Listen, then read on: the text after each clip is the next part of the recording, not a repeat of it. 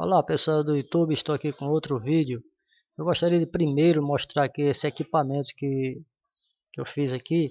Ele vai determinar exatamente a região onde tem luz e onde não tem luz.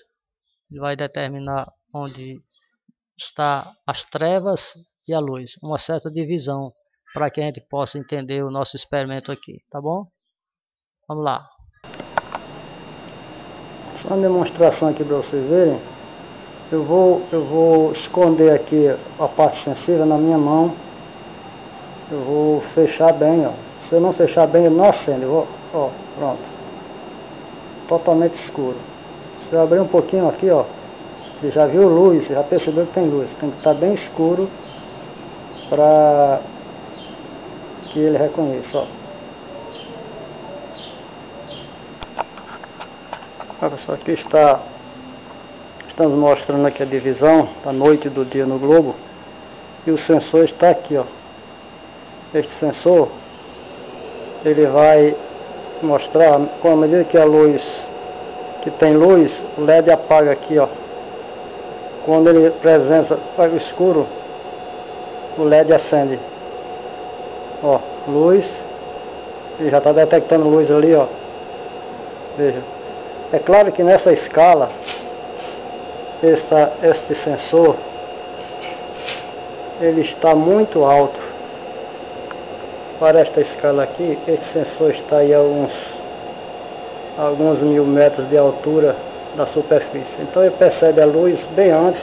Por isso que ele não você percebe que ele acende bem antes ó, aqui, ó. ó pronto falta de luz o LED está certo. Quando ele detecta a presença da luz ele apaga. Veja ó. Nós vamos fazer esse mesmo teste na, na Terra plana. Então, mesmo assim, está muito próximo aqui da divisão, da divisão do, entre a luz e as trevas. Veja, nós temos a divisão clara aqui de noite e dia. Veja, feita. Ó, aqui. Tá bom? Vamos para o plano. Bom pessoal, aqui está a altura do Sol, a altura ideal é em torno de 5 a 6 mil quilômetros. Eu estou aqui, veja. Aqui parece que você está vendo sombra. A câmera ela não mostra como olho nu, mas o sensor está ligado. Aqui está o sensor está ligado, mas ele detecta a presença de luz aqui. Certo? É, vou mostrar aqui. É lógico que você está vendo aqui, eu coloquei o sol mais ou menos aqui na troca de câncer, aqui mais em cima. Vocês estão vendo que a linha do Equador está aqui, ó. A linha do Equador é essa aqui, ó. Certo? Nós estamos mais ou menos aqui na linha de câncer. Veja, a sombra desse poste aqui, ó. Tem sombra até aqui no Polo Sul, ó. Ó, tem sombra aqui. Veja. A câmera não mostra como estou aqui a olho nu. Mas o nosso sensor aqui está detectando presença de luz. O sensor está aqui, ó. Não sei se dá para você mostrar. Deixa eu ver se eu pego uma lanterna aqui.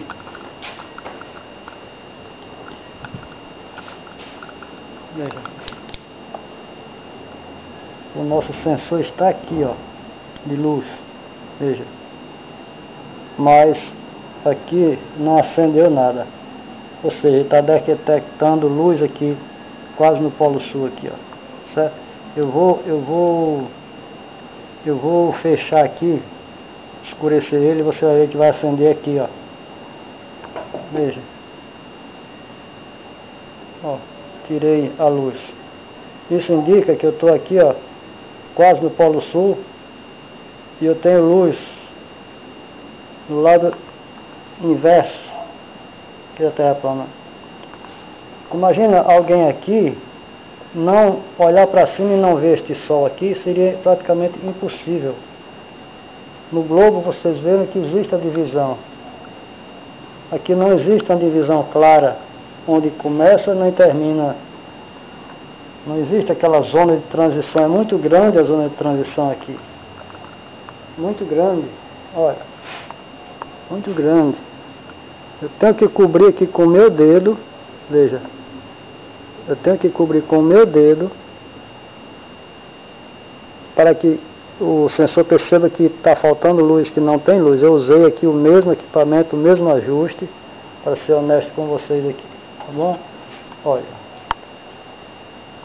a zona de transição não é definida aqui no mapa. Então alguém aqui, claro que ele ia perceber o sol. Ó, estou aqui no nível, abaixo do nível do, do é, da Terra plana. Seria ocultar esse sol aqui, seria algo muito difícil, muito complicado. Entendeu? Então mostrando que aqui, ó. Você vê a definição da sombra, tem um sombra. Sombra desse poste aqui, ó ela vai até aqui o Polo Sul. Ó, são sombras. Ó, são sombras. Tá vendo? São sombras. O meu sensor só vai detectar a ausência de luz quando eu coloco o dedo aqui, ó. Dá para pegar os dois. Ó, quando eu coloco meu dedo aqui, ó. Veja. É muita luz. A câmera ainda mostra alguma escuridão, mas a olho nu aqui, você ia perceber. Então, pessoal, é, não dá, não dá.